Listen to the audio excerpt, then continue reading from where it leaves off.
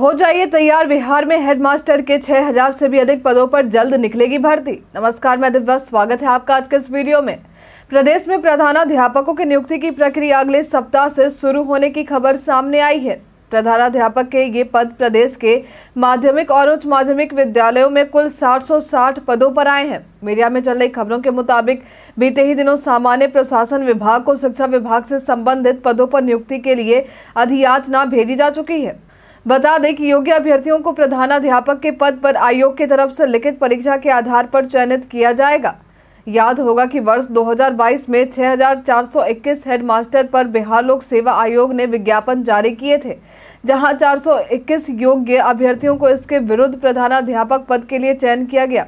हालाँकि यहाँ भी महज तीन सौ उनहत्तर अभ्यर्थियों ने ही योगदान दिया। शिक्षा विभाग के एक उच्च अधिकारी द्वारा बताया गया कि राज्य के उत्क्रमित माध्यमिक और उच्च माध्यमिक विद्यालयों में प्रधानाध्यापक के पदों पर योग्य अभ्यर्थियों की नियुक्ति जनवरी तक कराने की उम्मीद है। प्रधानाध्यापक पद के लिए सरकारी और निजी विद्यालयों के इच्छुक योग्य अभ्यर्थियों की सेवाओं के लिए पिछले साल ही शर्तें निर्धारित की गई थी।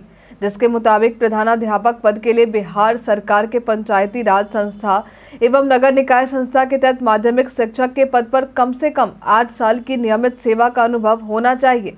आगे उन्होंने जानकारी देते हुए बताया कि राज्य सरकार के विद्यालय में उच्च माध्यमिक शिक्षक के पद पर कम से कम चार साल की लगातार सेवा का अनुभव आवश्यक रखा गया है। इसके अलावा यदि कोई अभ्यर्थी निजी विद्यालय के शिक्षक हैं तो निजी माध्यमिक विद्यालय में शिक्षण कार्य का 12 साल का अनुभव और बार, और निजी उच्च माध्यमिक विद्यालय में शिक्षण कार्य का अनुभव 10 साल होना आवश्यक रखा गया है। इससे पहले जब बिहार हेडमास्टर की भर्ती हुई थी, तब शैक्षणिक योग्यता में कम से कम 50 प्रतिशत अंकों के साथ पीजी उत्तीर्ण होना अनिवार्य रखा गया था।